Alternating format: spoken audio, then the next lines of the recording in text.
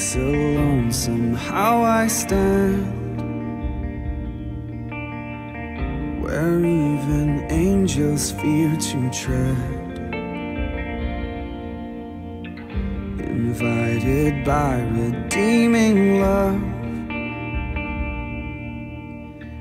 Before the throne of God above. He pulls me close with nail scarred hands into his everlasting arms.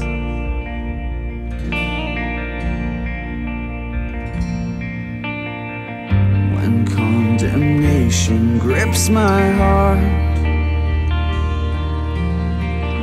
and Satan tempts me to despair. Hear the voice that scatters fear. Oh, the great I am, the Lord is here. Oh, praise the one who fights for me and shields my soul eternally.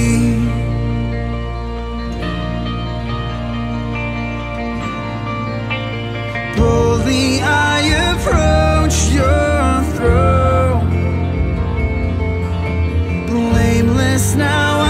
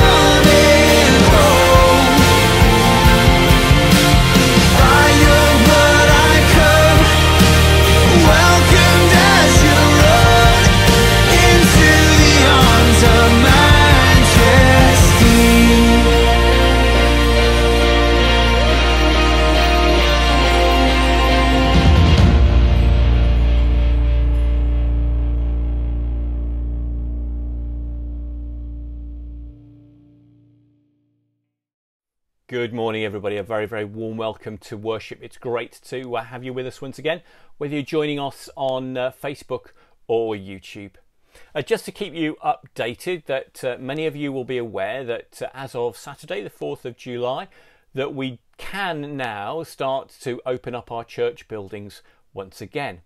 And you should be aware that the church leadership teams in all our churches have begun the great task of working their way through to understand uh, the l- rules and regulations and all the guidance. And currently, they're working through all the different checklists and risk assessment forms to uh, ensure that when we do come to open up our buildings again, that they are the safest that they can be, both for us as church families uh, and all of those that will be coming into our building from the community.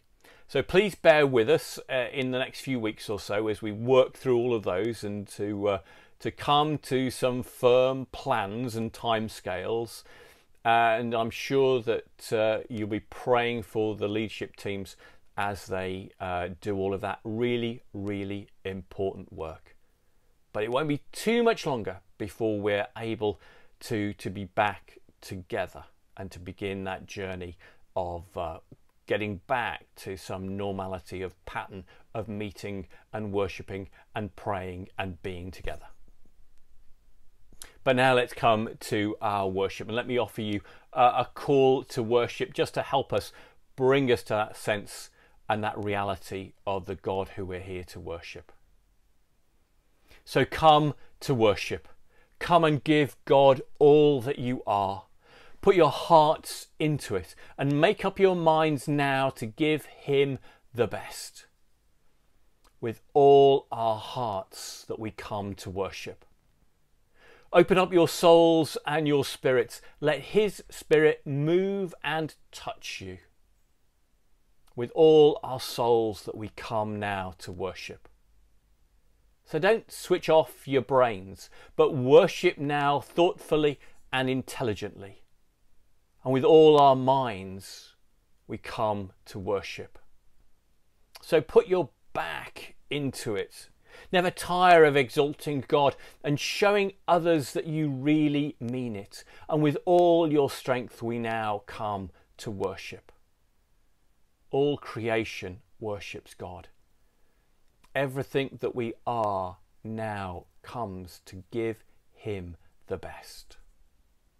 So let's worship as we sing or as worship as we listen with our first worship song.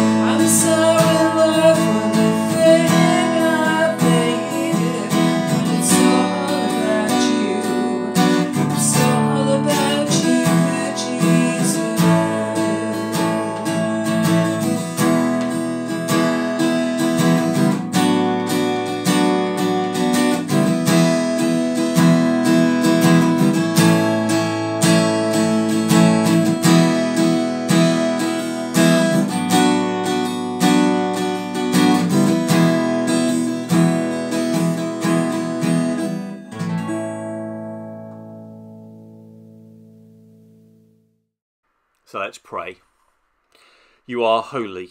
You are holy, Lord, the only God, and your deeds are wonderful. You're strong. You are great. You are the most high. You are almighty. You, Holy Father, are King of heaven and earth.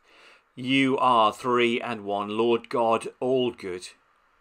You're good, all good, supreme good, Lord God, living and true. You are love, you are wisdom, you are humility, you are endurance, you are rest, you are peace, you are joy and gladness, you are justice and moderation. You are all riches, and you suffice for us. You are beauty, you are gentleness, you are our protector, you are our guardian and defender. You are our courage, you are our haven and our hope.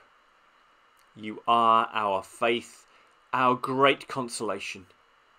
You are our eternal life, great and wonderful Lord, God Almighty, our merciful Saviour, our God and our all. We adore and we worship you. In Jesus' name, Amen.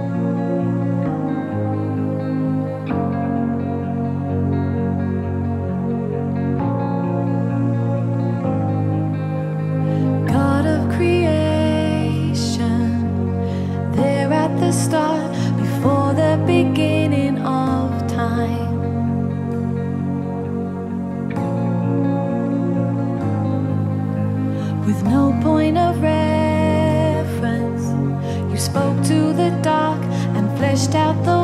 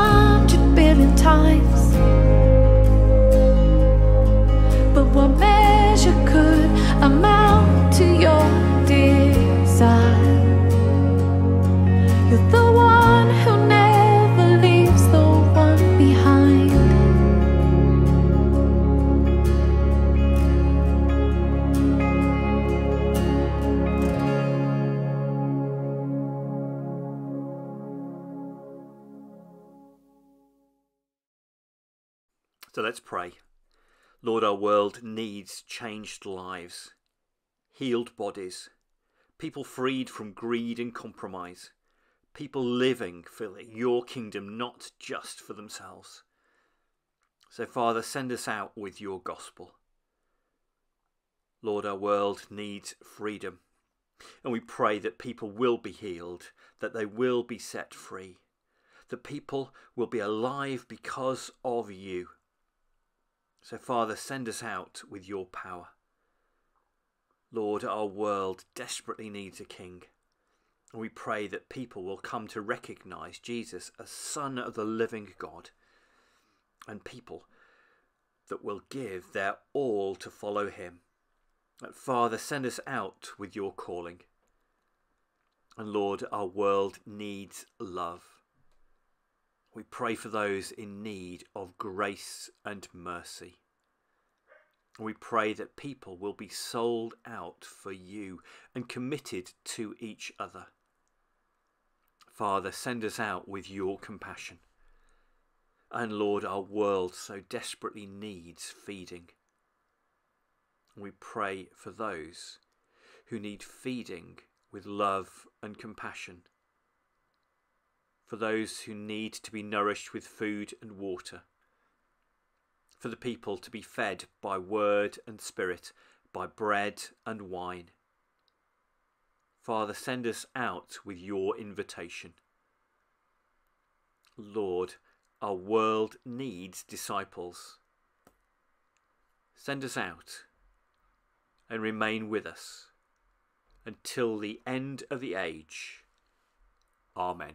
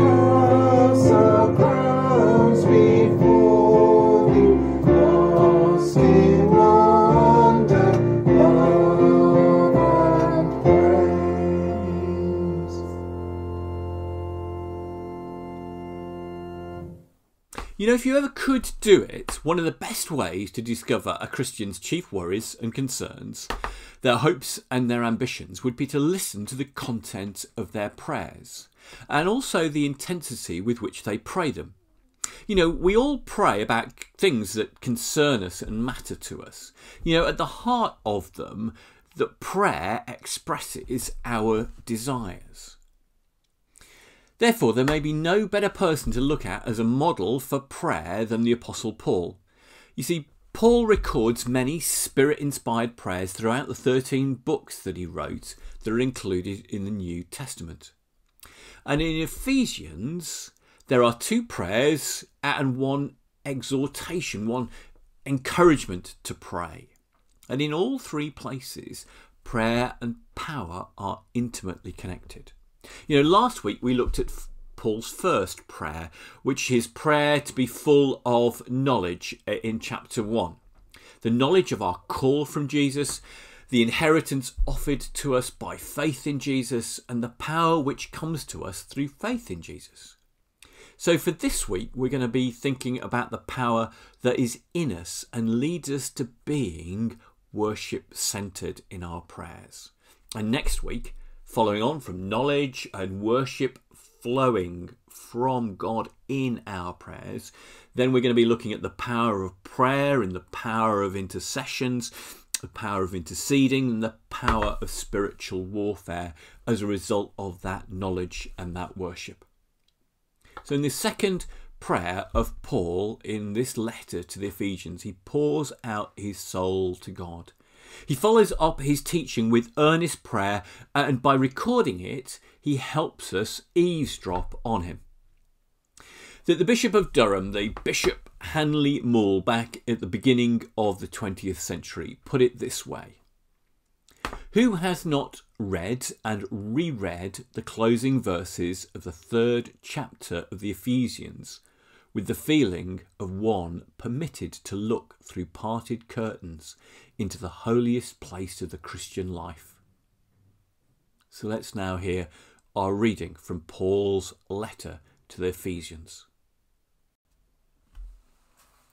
Ephesians 3 14 to 21.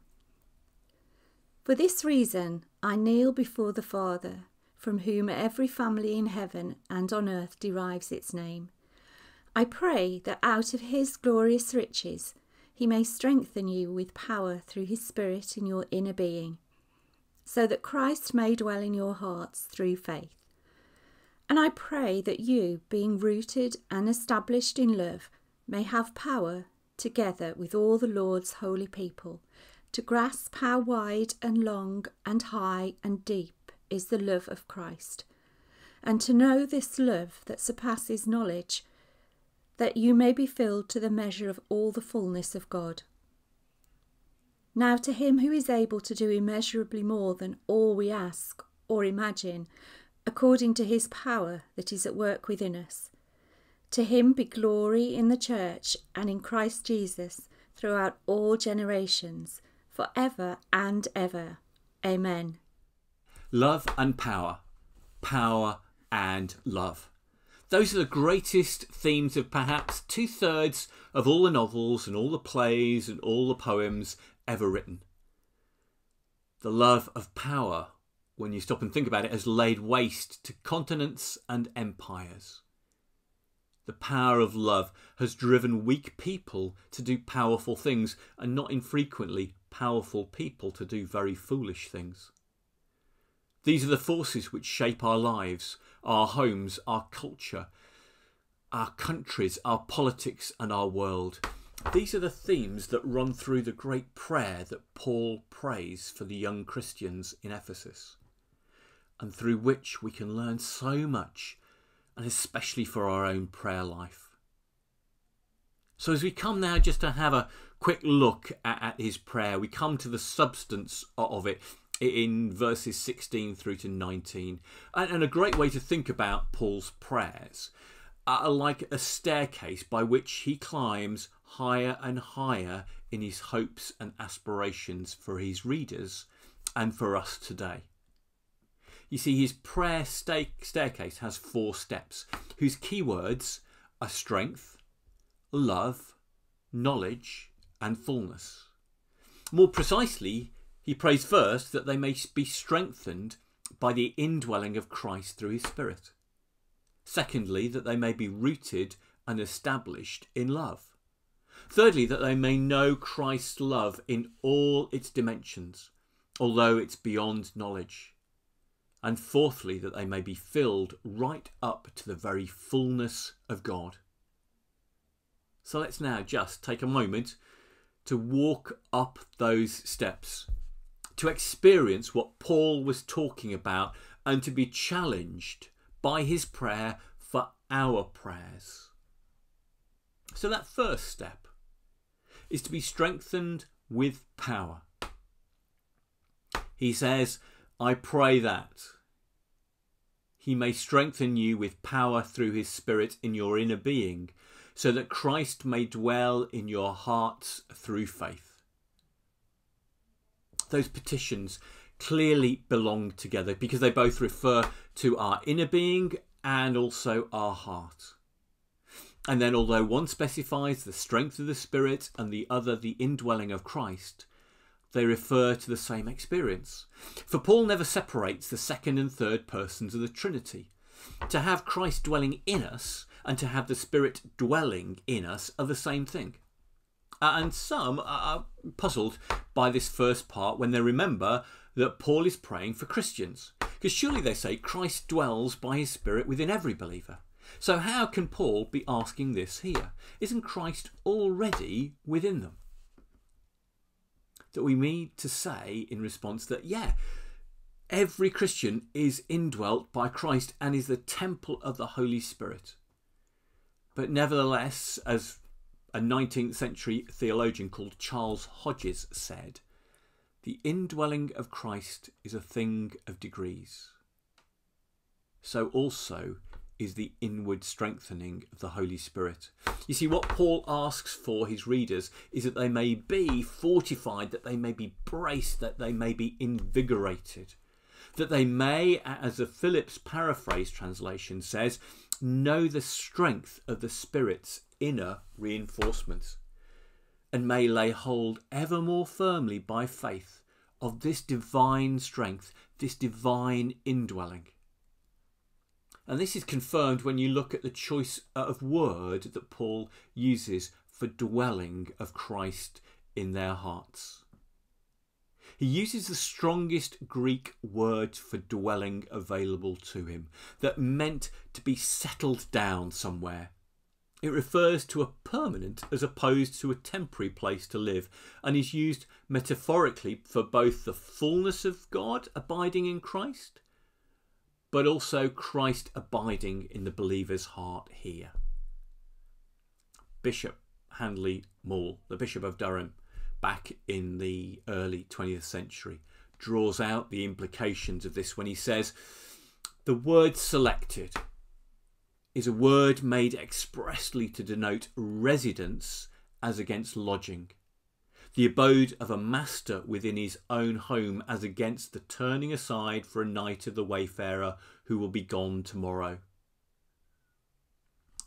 And he goes on to say, the residence always in the heart of its master and lord, who where he dwells must rule, who enters not to cheer and to soothe alone, but before all things eh, he must reign.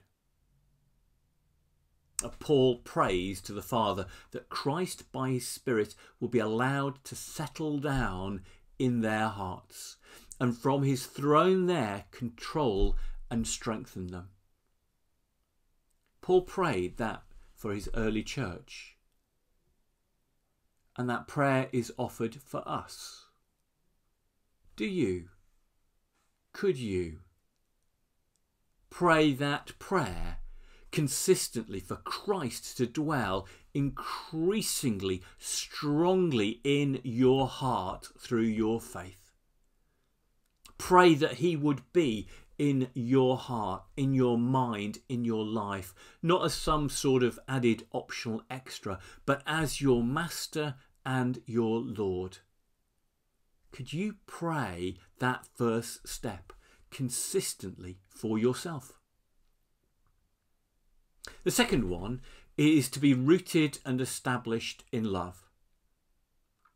If we could ask Paul why he prayed that Christ would control and strengthen his readers, I think he would say that he wanted them to be strengthened to a holy love. For in the new and reconciled people which Christ is creating, holy love is to be the preeminent value and virtue.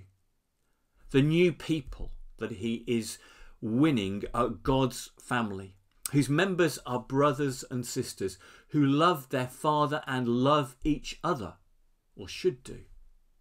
They need the power of the Spirit's strength and of Christ's indwelling to enable them to love each other, especially across deep social, racial, and cultural divides which had previously separated them.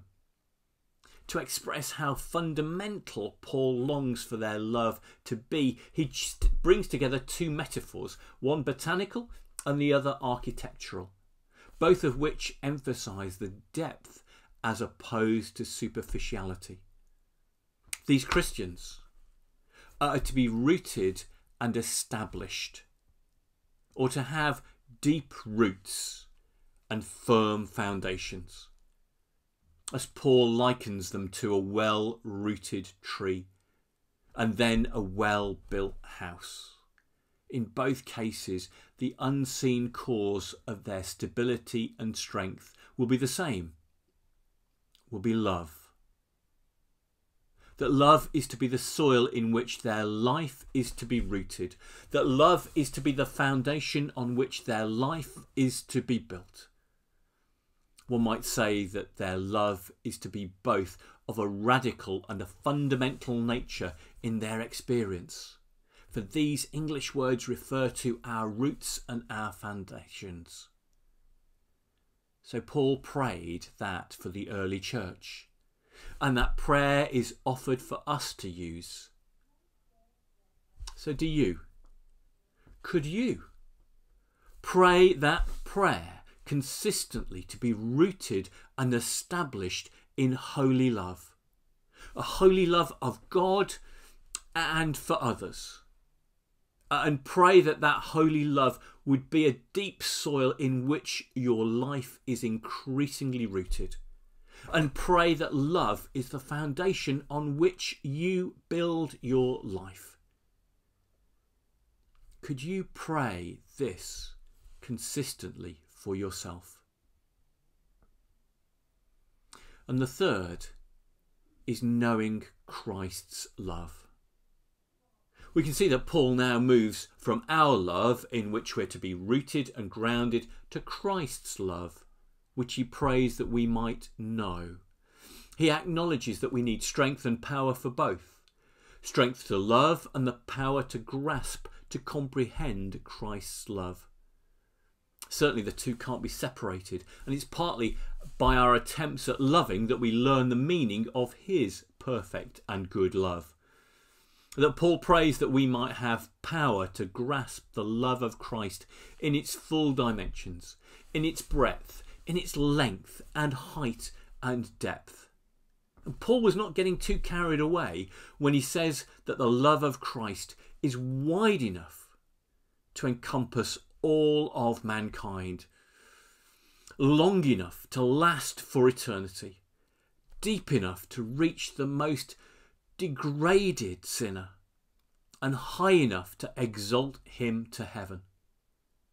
When you look back at some of the biblical commentators, they express that it's finding a parallel to what we can go and read in Romans chapter 8, virtually saying, where it says, wherever, whether you go forward or backward, up to the heights or down to the depths, nothing will separate us from the love of Christ.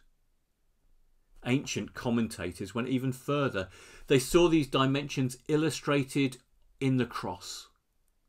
You see, for its upright pole reached down into the earth, but also pointed up to heaven, while its crossbars carried the arms of Jesus stretched out as if to invite and welcome the whole world. It may be a little bit poetic, but what it affirms about the love of Jesus Christ is true. We shall have power to comprehend these dimensions of Christ's love, Paul adds, only with all the saints. The isolated Christian can indeed know something of the love of Jesus, but his grasp of it is bound to be limited by his limited experience. It needs the whole people of God to understand the love of God, the Lord's holy people. You know, Jews and Gentiles, men and women, young and old, black and white, with all their varied backgrounds and experiences. Yet, even then, although we may grasp its dimensions to some extent with our minds, we cannot know it in our experience. Because it's too broad, it's long and deep and high, even for all the saints together to grasp. It surpasses knowledge. Paul has already used this surpassing word of God's power uh, and grace, but now he uses it of his love. That Christ's love is unknowable as his riches are unsearchable. And perhaps we'll spend eternity exploring its inexhaustible riches and grace and love. But Paul prayed that for the early church.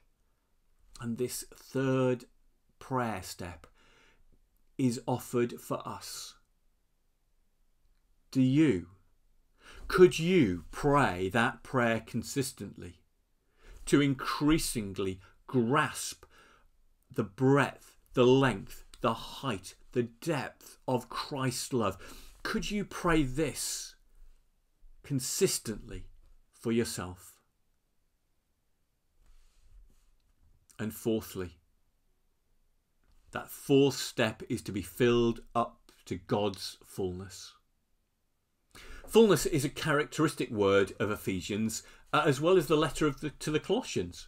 In the letter to the Colossians, Paul tells us not only that God's fullness dwells in Christ, that in Christ we ourselves have come to fullness. Then, back here in the letter to the Ephesians, he makes it plain that we still have room for growth. As individuals, we're to go on being filled with the Spirit and the church, although already the fullness of Christ, is still to grow up in Him until it reaches fullness. He prays that they may be filled with all the fullness of God. God's fullness or perfection becomes the standard or the level up to which we pray to be filled.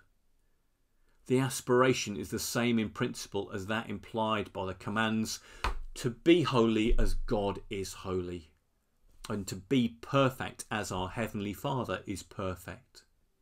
That such a prayer looks forward to our final state of perfection in heaven when together we enter the completeness of God's purpose for us and are fulfilled to capacity, filled up to that fullness of God which human beings are capable of receiving without ceasing to be human. But in saying that, Paul's last petition points to that heavenly perfection, that we have no liberty to try to evade its contemporary challenges for us. You see, for God expects us to be growing daily towards that final fullness as we're being transformed by the Holy Spirit in Christ's image from one degree of glory to another. Paul prayed that for the early church. And this final prayer step is for us. Do you, could you, pray that prayer consistently? To be filled by the fullness of God, to grow daily in that fullness, to be transformed by the Holy Spirit into Christ's image, one step after one step. Could you pray this consistently for yourself. So, as we look back down that staircase, which we've been climbing with Paul, I'm sure we can't fail to be struck by the sheer audacity of it. He prays that his readers may be given the strength of the Spirit, the ruling presence of Christ, the rooting of their lives in love, the knowledge of Christ's love in all its dimensions, and the fullness of God Himself. Those are big and bold petitions. But as climbers of this spiritual staircase, we may become short of breath and even a little bit giddy. But when we've prayed them for us and for others, when we combine it with the knowledge of God's power coming to us in His call, His offer of our inheritance, the power working towards us, and now this of God working in us, of strengthening, of being rooted, uh, of knowing, of filling to the point of overflowing that one outcome of all of those prayer steps is that we can't help but be drawn into our worship. Through this prayer, that we come to worship that all of God's glory and His glory is seen increasingly inside us. We receive this power as we worship, as we adore God and we take Him even more firmly into our hearts and our lives. And as the glory gets inside us, it changes and transforms us from the inside out through love. And finally, as we take each step in Paul's prayer, that he offered for the early church and which we can offer for ourselves. Could you pray those prayers consistently, to be strengthened with power, to be established in love, to know Christ's love, to be filled with God's fullness and goodness. Could you pray this consistently for yourselves? Give them a go. Experience them and see the results. The overarching result of those prayers will be to give the God who saved you the glory. To worship the true God who wrapped himself in flesh and blood and came into our world and lived and died for our freedom. That you will worship him. And in those prayer steps, that you will be filled with a sense of new possibilities as his grace works within you.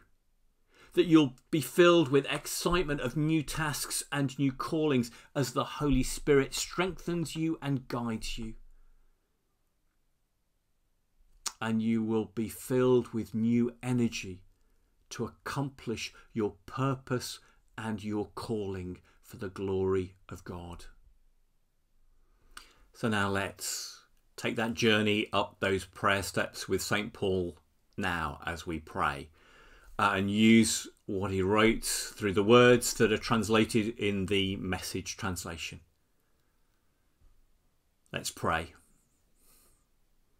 For this we sit, we kneel, or stand before you, our Father, from whom every family in heaven and on earth derives its name. We pray that out of his glorious riches, that he may strengthen us through his Spirit in our inner beings, so that Christ may dwell in our hearts through faith. And we pray that we, being rooted and established in love, may have power, together with all the Lord's holy people, to grasp how wide and long and high and deep is the love of Christ, and to know this love that surpasses knowledge, and that we may be filled to the measure of all the fullness of God. So now to Him who is able to do immeasurably more than we can ask or imagine according to his power that is at work within us. To him be the glory in the church and Christ Jesus throughout all the generations, for ever and ever. Amen.